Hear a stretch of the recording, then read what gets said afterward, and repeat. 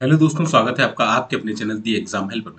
तो दोस्तों, इस वीडियो में मैं आपको एनबीएस नॉन टीचिंग पोस्ट की रिक्रूटमेंट के बारे में बताने वाला हूँ, जिसमें आपकी एमटीएस की पोस्ट निकली हुई है, ठीक है? एनबीएस यानी कि नवोदय विद्यालय समिति की तरफ़ से यहाँ पर नॉन टीचिंग की पोस्ट निकाली गई है, जिसमें कुल तेरह प्रकार की पोस्ट हैं, इसके ऊपर मैंने ऑलरेडी एक डिटेल्ड वीडियो बना दिया है। अगर आपने नहीं देखा है तो जाके देख लेना। यहाँ पर मैंने सारी पोस्ट के बारे में बताया था। ठीक है, फिर आप लोग कमेंट कर रहे सर पर्टिकुलरली जो पोस्ट निकली हुई है, तेरह प्रकार की उन पर सब पे एक एक अलग अलग वीडियो बना दीजिए। तो इसी कड़ी में मैंने आपको प्रॉमिस किया था और बोला था कि एनबीएस जीएसए के लिए एक पर्टिकुलर वीडियो बना दे कि एनबीएस जीएसए के लिए फुल डिटेल क्या हो सकती है क्या क्या इसमें चीज़ें मांगी गई हैं सैलरी सिलेबस जॉब प्रोफ़ाइल क्या हुई, अलग से बना दिया। अब मैं जो वीडियो बना रहा हूँ, वो है आपकी अगली पोस्ट जिसका नाम है एम यानी कि मल्टी स्टाफ दोस्तों, ये पोस्ट जो है वो हेडक्वार्टर और केवल रीजनल ऑफ़िस में ये निकली हुई है, ठीक है? यहाँ यहाँ पर एनबीएस के हेडक्वार्टर या रीजनल ऑफ़िस है, वहाँ पर ये पोस्ट निकली है। ऑल इंडिया की वैकेंसी है, कोई भी विद्यार्थी से कहीं से भी अप्लाई कर सकता है। इस वीडियो में हम फुल डिटेल में बात करने वाले हैं, जैसे कि पोस्ट कौन सी है? तो पोस्ट हो गई आपकी एमटीएस नंबर ऑफ़ वैकेंसी कितने निकली है? एलिजिबिलिटी योग्यता क्वालिफिकेशन क्या मांगी गई है? एज कितनी मांगी गई है? फ़ीस कितनी मांगी गई है? सिलेक्शन प्रोसीजर क्या रहने वाला है? यानी कि आप जब फॉर्म भर देंगे तो आपको किन किन प्रोसेस से होकर गुजरना पड़ेगा ठीक है? इसके बाद एग्ज़ाम का पैटर्न या सिलेबस क्या रखा गया है। अप्लाई करने की जो डेट है एंड एग्ज़ाम डेट है, वो कब कब कब हो सकती है? और इसकी जो सैलरी है, वो आपको इन हैंड क्या मिलने वाली है और जॉब प्रोफ़ाइल आपकी क्या रहने वाली है? यानी कि आपको काम क्या करना पड़ेगा। तो ये पूरा हम डिटेल में यहाँ पर डिस्कस करने वाले हैं ओके चलिए। तो देखिए, यहाँ से हम स्टार्ट कर लेते हैं कि सबसे पहला हमारा है कि नंबर ऑफ़ वैकेंसीज कितनी है? सबसे पहले हमें पता होना चाहिए कि हमारी जो नंबर ऑफ़ वैकेंसी है, वो कितनी है, ठीक है? तो नंबर ऑफ़ वैकेंसी यहाँ से आप देख लेते हैं कितनी निकली हुई हमारी नंबर ऑफ़ वैकेंसी तो यहाँ से आप देखेंगे नंबर ऑफ़ वैकेंसी देखिए, ये जो नवोदय विद्यालय समिति है, इसके द्वारा दो हज़ार चौबीस recruitment drive non teaching post निकाली गई जिसमें इतनी सारी पोस्ट है। टोटल तेरह प्रकार की पोस्ट है जिसमें आपका एमटीएस है, जो कि हेडक्वार्टर और आर ओ कैडर के लिए निकाली गई है। जिसमें आपकी जो वैकेंसी है, कुछ इस प्रकार है। टोटल उन्नीस वैकेंसी आपको यहाँ पर देखने को मिलती है, जिसमें यू की ग्यारह ई की दो ओबीसी की चार एससी की दो और एसटी की ज़ीरो वैकेंसी रखी गई है। एच की एक है और एक्स सर्विसमैन की दो वैकेंसी यहाँ पर रखी गई है। ठीक है, चलिए। अगला देख लेते हैं एजुकेशनल क्वालिफिकेशंस क्या मांगा गया है दोस्तों। तो कोई भी विद्यार्थी जिसने टेंथ पास कर रखी है ऑल ओवर इंडिया से, वो इसका फॉर्म अप्लाई कर सकता है। एज क्या मांगी तो 18 से 30 साल अगर आपकी एज है तो आप इसका फॉर्म भर सकते हैं। एज रिलैक्सेशन की बात करें एज में छूट किस किसको मिलेगी? तो एस सी को पाँच साल के लिए, यानी कि आप पैंतीस साल तक फॉर्म भर सकते हैं और ओबीसी को तीन साल, यानी कि आप तैतीस साल तक फॉर्म इसका अप्लाई कर सकते हैं। फ़ीस क्या रखी गई है? तो फ़ीस देख लेते हैं फ़ीस क्या रखी गई है? तो दोस्तों, अगर आप फीमेल नर्स स्टाफ के लिए फॉर्म ये तो हम बढ़ नहीं रहे। तो इन वाली जो अदर पोस्ट है टोटल बारह प्रकार की, उसमें आपका एक आएगा मल्टीटास्किंग स्टाफ यहाँ पर एप्लीकेशन फ़ी पाँच सौ रुपये प्रोसेसिंग फ़ीस पाँच सौ रुपये टोटल आपकी हज़ार रुपये फ़ीस रहेगी किसके लिए? जनरल ईडब्ल्यूएस और ओबीसी के लिए। एस सी एस टी और पी डब्ल्यू डी कैंडिडेट के लिए यहाँ पर एप्लीकेशन फ़ी नील रखा गया है। प्रोसेसिंग फ़ीस पाँच सौ टोटल फ़ीस आपकी यहाँ पर पाँच सौ लगने वाली। ओके चलिए। नेक्स्ट हम देख लेते हैं इसका सिलेक्शन प्रोसीजर किस प्रकार होगा यानी कि जब आप फॉर्म भर देंगे तो आपको किस किस स्टेजेस से होकर गुजरना पड़ेगा। तो इसका एक only single objective type paper होने वाला है, जो कि आपका ऑनलाइन मोड पर रहेगा। कुछ इस तरीके से आपका पेपर होने वाला है। कंप्यूटर पर आपको पेपर देना होगा ऑनलाइन पेपर आपका होने वाला है। एक सिंगल पेपर होगा और आपका यहाँ पर सिलेक्शन हो जाएगा। तो इसलिए सबसे बेस्ट जॉब है कि एक पेपर दीजिए, दसवीं पास से और आपको जॉब मिल जाएगी, ठीक है? काफ़ी अपने आप में काफ़ी रेपुटेड जॉब है, काफ़ी अच्छी जॉब है, ठीक है? गवर्नमेंट जॉब है एक तरीके से। गवर्नमेंट के गवर्नमेंट जॉब ही एक तरीके से गवर्नमेंट जॉब ही है भाई, ठीक है? एग्ज़ाम पैटर्न या सिलेबस की हम बात कर लें कि आपसे पूछा क्या क्या जाएगा, जो आपका पेपर होने वाला है उसमें पूछा क्या क्या जाएगा। तो देखिए for the post of multi tasking staff यहाँ पर आपके तीन पार्ट रहेंगे, जिसमें आपका पहला पार्ट रहेगा लैंग्वेज टेस्ट का, जिसमें आपका हिंदी और इंग्लिश, हिंदी और इंग्लिश से क्वेश्चन पूछे जाएँगे। टोटल दोनों से मिलाकर 20-20 क्वेश्चन होंगे टोटल क्वेश्चन रहेंगे 40 और 40 मार्क्स आपको दिए जाएँगे। General awareness and current affair से 20 क्वेश्चन 20 मार्क्स के कंप्यूटर नॉलेज के 40 क्वेश्चंस 40 मार्क्स के। तो आप देख सकते हैं केवल हिंदी इंग्लिश और अगर आप कंप्यूटर पढ़ के भी चले आते हैं अगर इसको नहीं भी पढ़ेंगे तो भी आपका सिलेक्शन हो जाएगा।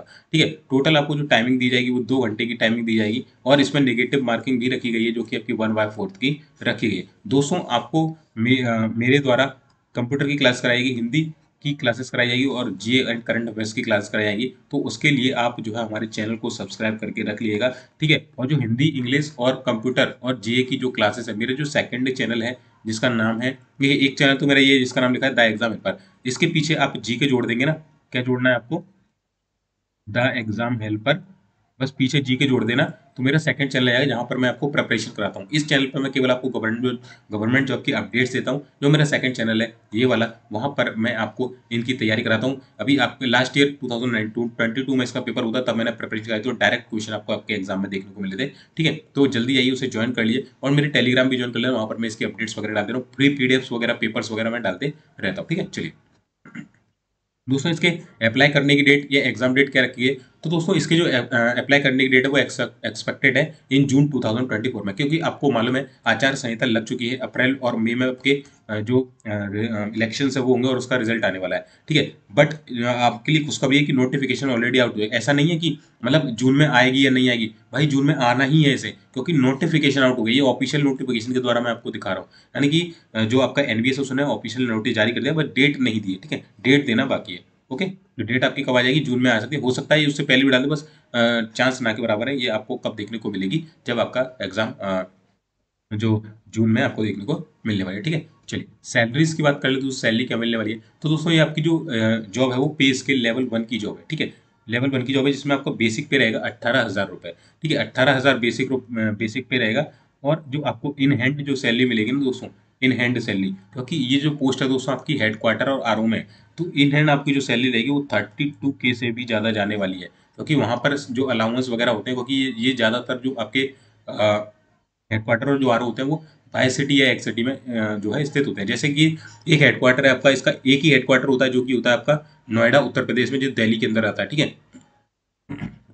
सॉरी और इसके आठ रीजनल ऑफ़िस होते हैं, जो कि आपका है भोपाल, चंडीगढ़ हैदराबाद, जयपुर, लखनऊ, पटना, पुणे एंड शिलोंग। तो इन जगह पर आपकी जॉब लोकेशंस होगी। इन नौ जगह पर एक आठ रीजनल ऑफ़िस और एक आपका नोएडा में, ठीक है? और सैलरी आपको इन हैंड बत्तीस हज़ार से भी ज़्यादा मिलने वाली, क्योंकि ये सारे बाय आर सिटी में आते हैं, ठीक है? अब जॉब प्रोफ़ाइल मैंने बता दिया कि जॉब कहाँ पर जॉब लोकेशन कहाँ भी होगी यहाँ पे। जॉब प्रोफ़ाइल में काम क्या करना होगा जैसे ये आपको एक ऑफ़िस दिख रहा है तो यहाँ पर ये फ़ाइल उठा के दे दी। अगर आपको कोई कंप्यूटर वर्क आता है तो आपको कंप्यूटर वर्क भी दिया जा सकता है। इस तरीके के ऑफ़िस भी देखने को हमें मिलते हैं यहाँ पर आपको प्रिंट वगैरह काम है या कोई फ़ाइल उठा के इधर से इधर इस ऑफ़िस से उस ऑफ़िस में फ़ाइल क्योंकि आपका काम है मल्टी ठीक है? यहाँ भी कुछ भी आपसे करा सकते हैं। अगर आपको कंप्यूटर की नॉलेज तो कंप्यूटर पर बैठा के काम भी करा सकते हैं आपको या आपको प्यून की नौकरी भी दे सकते हैं, ठीक है? ये रियलिटी है। प्यून की नौकरी भी दे सकते हैं। एक फ़ाइल को दूसरे ऑफ़िस में भेजने के लिए बोल सकते हैं। ना, वो आपकी एबिलिटी के ऊपर है कि आपको क्या काम आता है। अगर आपको कंप्यूटर वर्क आता है तो वो आपको कंप्यूटर डेस्क जॉब भी दे सकते हैं। एमटीएस का मतलब मल्टी आपसे कुछ भी कराया जा सकता है। ठीक है? ओके तो आई होप आपको जॉब प्रोफ़ाइल एंड सैलरी के बारे में पता चल गया दोस्तों जीके जीएस एंड कंप्यूटर और हिंदी क्लासेस मेरे द्वारा आपको प्रोवाइड की जाएँगी। कहाँ की जाएँगी, मैं अभी बताने वाला हूँ। है ना प्रीवियस ईयर का पेपर कहाँ से मिलेगा? प्रीवियस ईयर का कट ऑफ़ किया गया था। मैं आगे आने वाले वीडियोस में आपको बता दूँगा। मैं ऑलरेडी जो आपका प्रीवियस ईयर का पेपर सॉल्यूशन वो करा चुका हूँ, जो जेएसए पोस्ट थी उसके लिए, ठीक है? जो कि मैंने अपने सेकंड चैनल पर कराया था, जिसका नाम है द एग्ज़ाम हेल्पर जीके ठीक है? और इसकी पीडीएफ वगैरह आपको द एग्ज़ाम हेल्पर जो टेलीग्राम चैनल है मेरा, ये वाला, यहाँ पर आपको देखने को मिल जाएगी, ठीक है? और बेस्ट बुक्स क्या रहेंगी इस पर्टिकुलर पोस्ट के लिए. एंड डिटेल सिलेबस या बेस्ट टीचर कौन कौन से हो सकते हैं? यहाँ पर फ्री कंटेंट आपको मिलेगा. तो वो आगे आने वाले समय में मैं आपको एक से दो दिन में वीडियो बना के दे दूँगा. तो उसके लिए आपको सिंपली क्या करना है दोस्तों? जो मेरा चैनल है ना, उसको सब्सक्राइब करके रखना बेल के आइकन को दबा के रखना है. अगर आपको पहले से और ढेर सारी जानकारी चाहिए कि एनबीएस क्या होता है, कैसे पेपर होता है लास्ट ईयर क्या पेपर होता है तो ये मेरी जो मेरा ये वाला चैनल है द एग्ज़ाम पर यहाँ पर जाएँगे तो एनवीएस की एक प्लेलिस्ट बनी हुई जहाँ पर एक सौ चौहत्तर वीडियो मैंने ऑलरेडी डाल दी है ठीक है? तो आप एनवीएस प्लेलिस्ट में सेक्शन में चले आना एनवीएस देख लेना वहाँ पर आपको ये ढेर सारी वीडियो मिलेगी कैसे क्या प्रोसेस होती है तो वहाँ पर आपको बहुत सारी जानकारी मिल जाएगी हालाँकि मैं डे बाई डे आपको ये जानकारी देता रहूँगा ठीक है? और आपको तैयारी करनी है एनवीएस की अभी से पे, पे, पे, पेपर लगाना है कि किस तरीके से पेपर आता है आपकी तैयारी हो चुकी है तो मॉक टेस्ट लगाना है ठीक है? और क्या क्या कंटेंट आता है तो आप टेक्स्ट बुक के मॉक टेस्ट जो है वो परचेस कर सकते हैं ठीक है? ये मेरा कूपन कोड है जिसका नाम है B one N A W four seven. आपको इसका स्क्रीनशॉट ले ली अभी इस पर ऑफ़र चल रहा है वैसे सिक्स सिक्स नाइनटी नाइन का। अभी आपको थ्री फोर्टी नाइन मिल जाएगा और मेरा coupon code B one N W four seven डाल देंगे। इस पर भी आपको डिस्काउंट देखने को मिल जाएगा। इसमें ये नहीं कि केवल आपको एमटीएस के मॉक टेस्ट मिलेंगे। ऑल ओवर इंडिया में जितने भी एग्ज़ाम हो रहे हैं सारे। और एनवीएस के जितने भी कैटेगरीज हैं जे वगैरह हो गया, है ना? फीमेल नर्स स्टाफ हो गया मैथ हेल्पर हो गया इलेक्ट्रिशियन कम प्लम्बर हो गया कैटरिंग असिस्टेंट हो सारे आपको इस एक पास के अंदर मिल जाते हैं। लगभग अट्ठारह हज़ार से भी ज़्यादा मॉक टेस्ट आपको एक पास में मिल जाती है, ठीक है? तो चाहिए इसको परचेस कर इसका स्क्रीन लेना, जब कूपन कोड मांगे तो ये वाला चीज़ डाल देना, जिससे आपकी तैयारी बेहतरीन हो जाएगी। इसमें सतहत्तर मॉक टेस्ट आपको एमटीएस के मिलते हैं, और जे वगैरह लेते हैं तो एक सौ तीस इसके मिल जाएँगे फीमेल्स नर्स आपके सौ मिल जाएँगे, है ना? इस तरीके से आपको देखने को मिल जाएँगे। और मैंने जो बोला था आपको प्रिपरेशन कहाँ पर कराऊँगा तो ये हमारा चैनल है द एग्ज़ाम हेल्पर जी के, ठीक है? जहाँ पर ये वीडियो डले हुए बहुत सारे, ठीक है? इससे पहले ये हमारे इसकी भर्ती हुई थी के की भर्ती हुई हमने क्लासेस डाल रखी है ऑलरेडी कंप्यूटर वगैरह की तो आप चेकआउट कर सकते हैं। तो यहाँ पर आपको इसकी जो क्लासेस है वो मिलेंगी। ऑलरेडी हम एक ये वाला वीडियो डाल चुके हैं, ये वाला प्रीवियस ईयर का। तो जल्द ही मैं आपको एनवीएस का प्रीवियस ईयर का पेपर दिखाने वाला हूँ। कट ऑफ़ वगैरह किया गया था, सब कुछ आपको मिल जाएगा, ठीक है? तो इस चैनल को सब्सक्राइब ज़रूर कर लेना और इस वाले को तो करना ही करना भाई, ठीक है? द एग्ज़ाम एनरोल यहाँ पर सारी अपडेट्स आपको मैं देता रहूँगा, ठीक है? तो ये वीडियो था दोस्तों वीडियो अच्छा लगा तो लाइक कर देना। चैनल पर नए सब्सक्राइब ज़रूर कर देना। मिलते हैं फिर नेक्स्ट वीडियो में, तब तक के लिए जय हिंद, जय भारत।